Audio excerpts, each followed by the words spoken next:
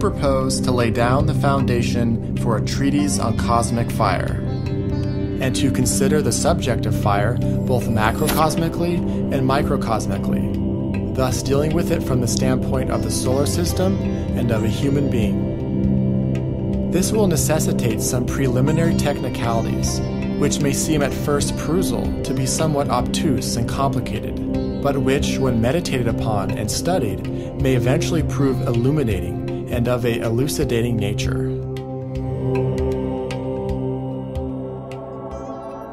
When the mind has familiarized itself with some of the details explained here, it might come to be regarded as providing a logical hypothesis concerning the nature and origin of energy and the relationship between the microcosm and macrocosm. The concept of fire can therefore be analogous to the animating principle of the universe, or the stuff behind ordinary matter. It is the subjective life or purpose behind every form, and from its internal combustion and luminosity creates the perpetual motion of the cosmos.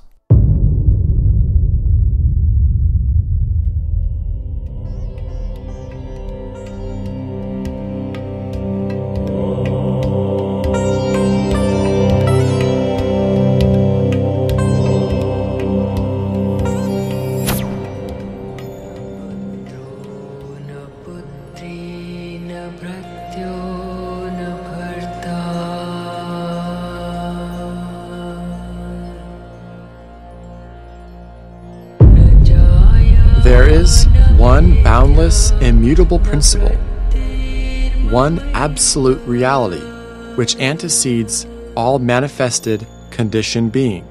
It is beyond the range and reach of any human thought or expression. The manifested universe is contained within this absolute reality and is a conditioned symbol of it. In the totality of this manifested universe, three aspects are to be conceived. The first cosmic logos, impersonal and unmanifested, the precursor of the manifested. The second cosmic logos, spirit, matter, life, the spirit of the universe. The third cosmic logos, cosmic ideation, the universal world soul.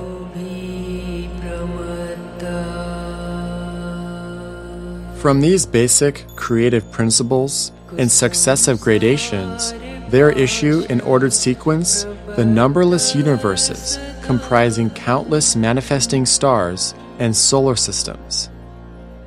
Each solar system is the manifestation of the energy and life of a great cosmic existence, whom we call, for lack of a better term, a solar logos.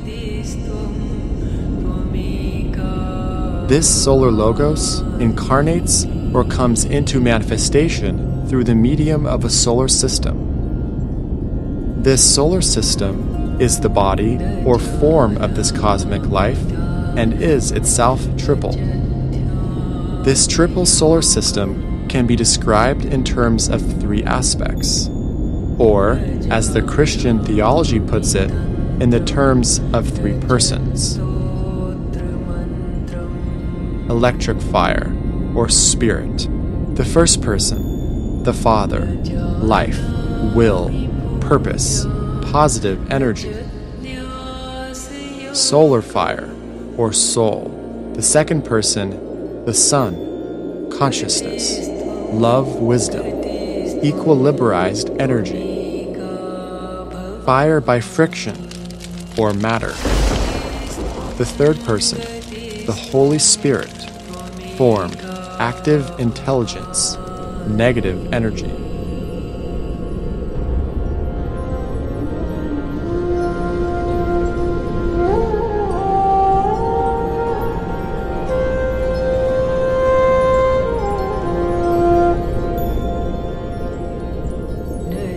I am. I am that.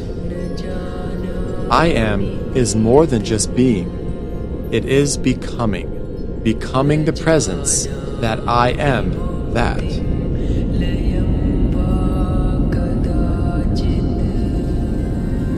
These three aspects of the whole are present in every form.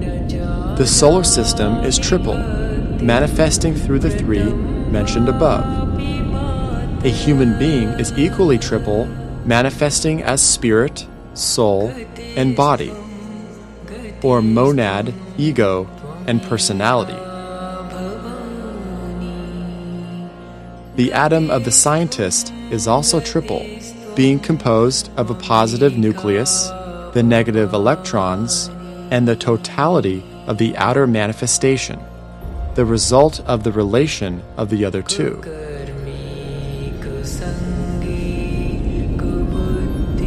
The three aspects of every form are interrelated and susceptible of intercourse because energy is in motion and circulates.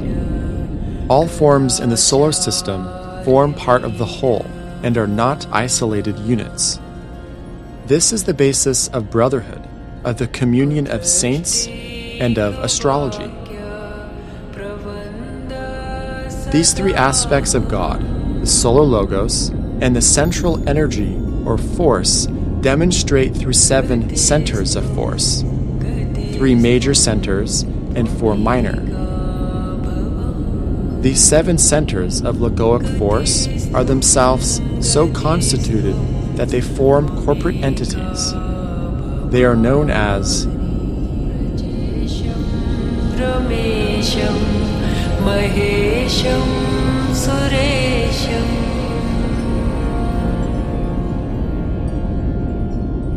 The seven logi embody seven types of differentiated force and are known as the Lords of the Rays.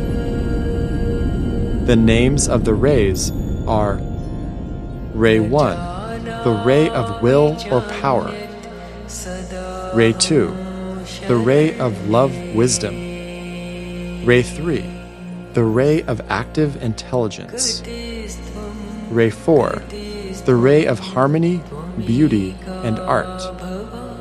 Ray 5, the ray of concrete knowledge or science.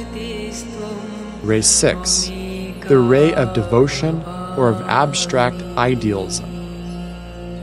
Ray 7, the ray of ceremonial magic or order.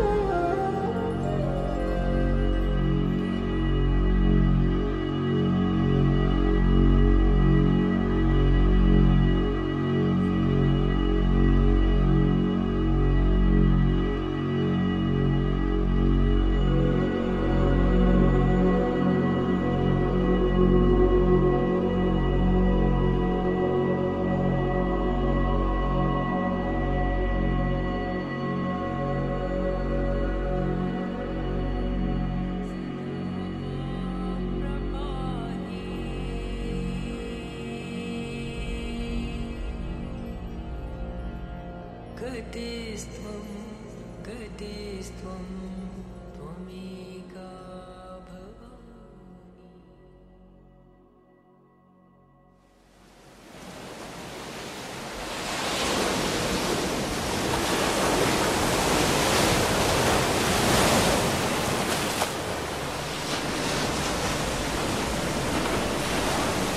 There is one basic law called the law of periodicity. This law governs all manifestation. Whether it is the manifestation of a solar logos through the medium of a solar system, or the manifestation of a human being through the medium of a form. This law controls likewise in all the kingdoms of nature. तस्मात् तदेव कर्तव्यम् there are certain other laws in the system which are linked with this one. Some of them are as follows the law of economy, the law governing matter, the third aspect, the law of attraction, the law governing soul, the second aspect, the law of synthesis, the law governing spirit or the first aspect. Each of these laws manifests primarily on one or other of the seven planes of the solar system. Each law sweeps periodically into power, and each plane has its period of manifestation and its period of obscuration. Every manifested life has its three great cycles birth, life, and death, appearance, growth, and disappearance, or inert motion, activity, and rhythmic motion. Knowledge of the cycles involves knowledge of number, sound, and color. Full knowledge of the mystery of the cycles is the possession only of the perfect adept.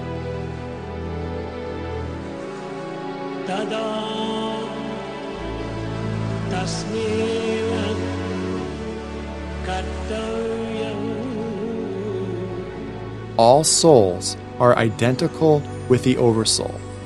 The logos of the solar system is the macrocosm, man, the microcosm. Soul or consciousness is an aspect of every form of life, from a logos to an atom. This relationship between all souls and the Oversoul constitutes the basis for the scientific belief in brotherhood. For brotherhood is a fact in nature, not an ideal. The law of correspondences will explain the details of this relationship. This law of correspondences, or of analogy, is the interpretive law of the system and explains God to man. Just as God is the macrocosm for all the kingdoms in nature, so man is the macrocosm for all the subhuman kingdoms. God sleeps in the minerals, dreams in the flowers awakens in the animals, and in man knows he is awake.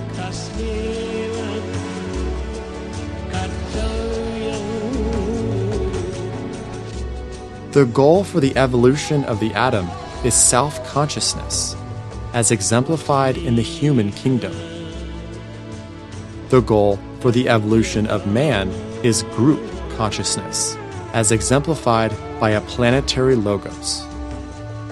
The goal for the planetary logos is God consciousness, as exemplified by a solar logos.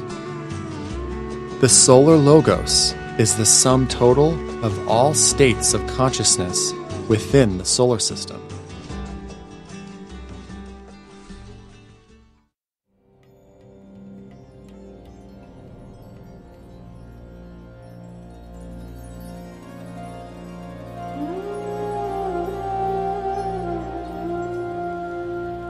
In its essential nature, fire is threefold.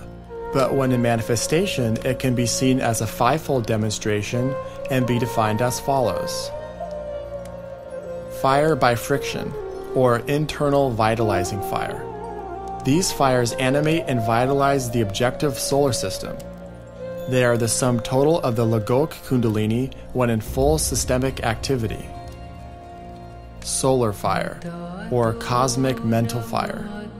This is that portion of the cosmic mental plane, which goes to the animation of the mental body of the Logos.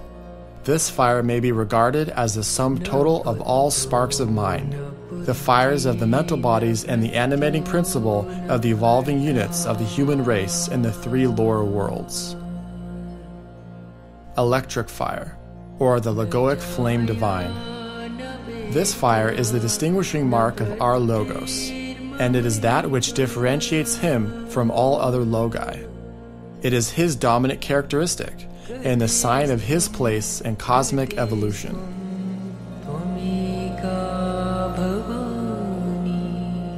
This threefold fire may be expressed in ray terms as follows.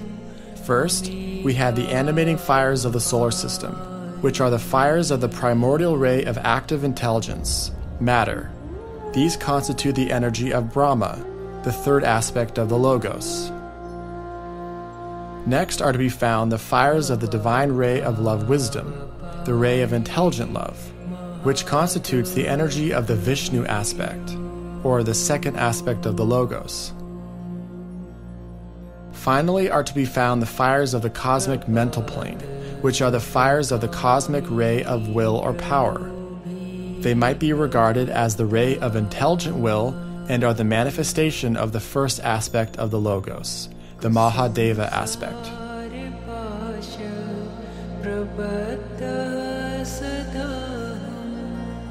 The ray of intelligent activity is a ray of a very demonstrable glory and of a higher point of development than the other two.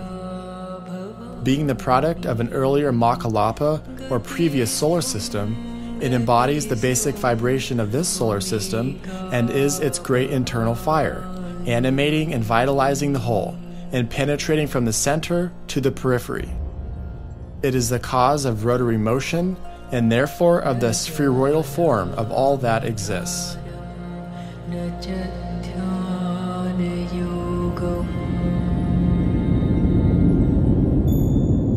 Ray of intelligent love. This is a ray which embodies the highest vibration of which our solar logos or deity is capable in this present solar system. It is not yet vibrating adequately, nor has it attained the peak of its activity.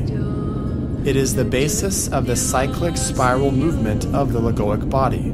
And just as the law of economy is the law governing the internal fires of the solar system, so the cosmic law of attraction and repulsion is the basic law of this divine ray.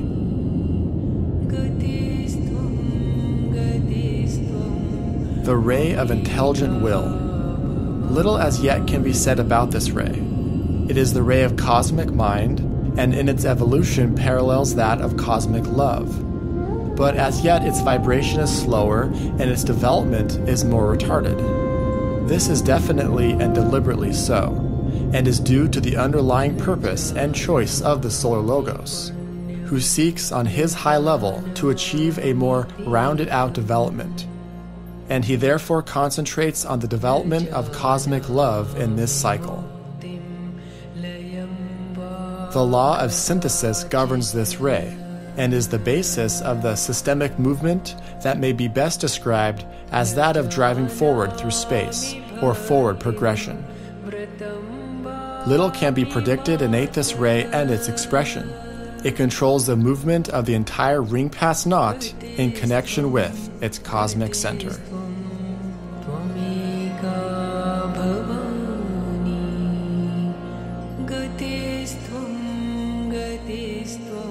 These three expressions of the divine life may be regarded as expressing the triple mode of manifestation.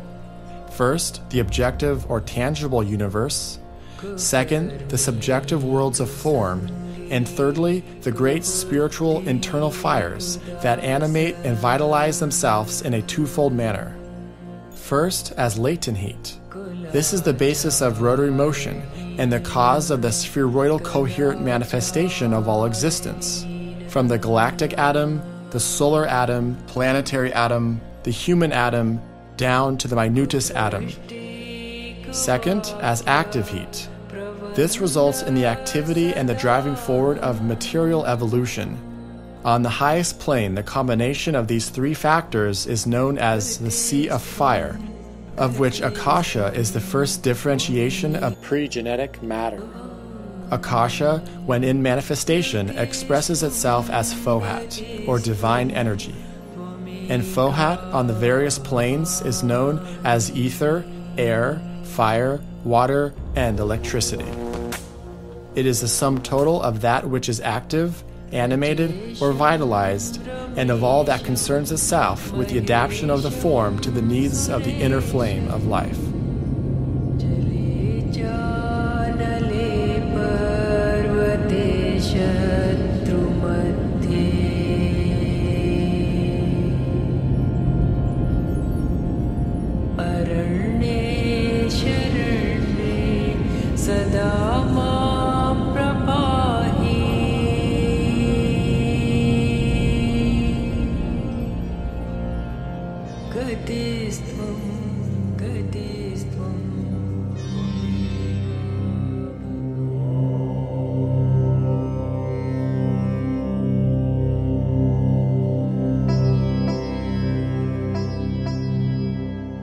Let us briefly consider, therefore, the correspondence between the greater whole and the unit man, and then consider the sections in which it will be wise to study. Fire in the microcosm is likewise threefold in essence and fivefold in manifestation. First, there is internal vitalizing fire, which is the correspondence to fire by friction. This is the sum total of the individual Kundalini. It animates the corporeal frame and demonstrates also in the twofold manner. First, as latent heat, which is the basis of life, of the spherical cell or atom, and of its rotary adjustment to all other cells. Second, as active heat or prana. This animates all and is the driving force of the evolving form. It shows itself in the four ethers and in the gaseous state. This fire is the basic vibration of the little solar system, in which the monad or human spirit is the logos. And it holds the personality or material man in objective manifestation, thus permitting the spiritual unit to contact the plane of densest matter. It has its correspondence in the ray of intelligent activity and is controlled by the law of economy.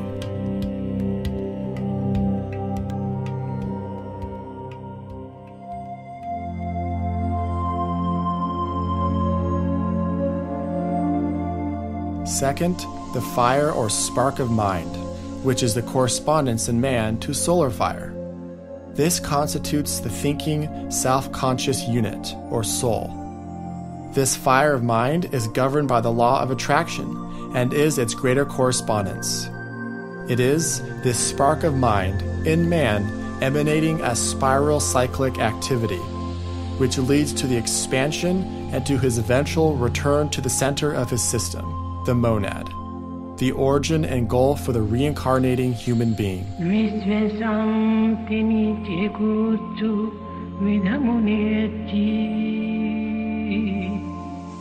As in the macrocosm, this fire also manifests in a twofold manner.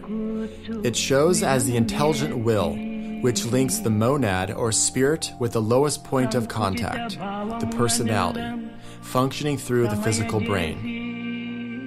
It likewise demonstrates, as yet imperfectly, as a vitalizing factor in the thought forms fabricated by the thinker.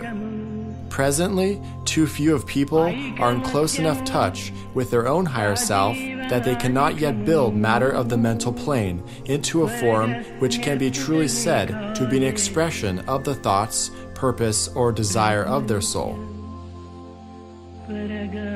But in due time, as the consciousness of humanity evolves and expands into higher levels of awareness, the thought forms will begin to reflect those higher, more subtle impulses coming from the soul.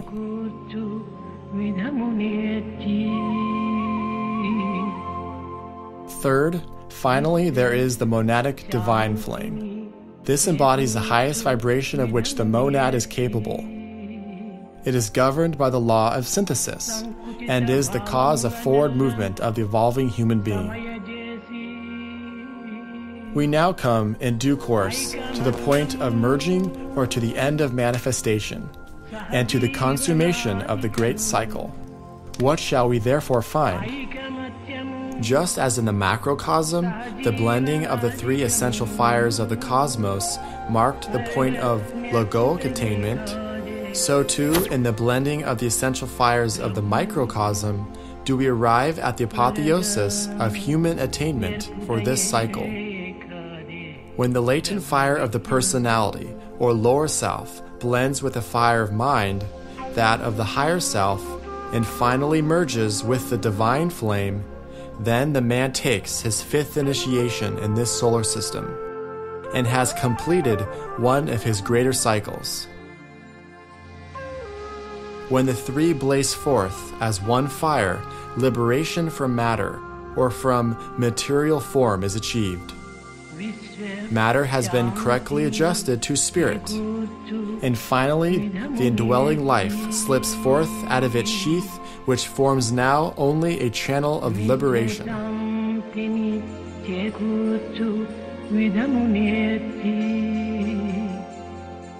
Fire is the most unaltered reflection in heaven as on earth of the one flame. It is life and death, the origin and end of every material thing.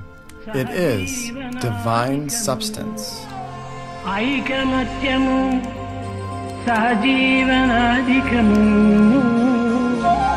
వరగస్మ్యర్పుట Brahma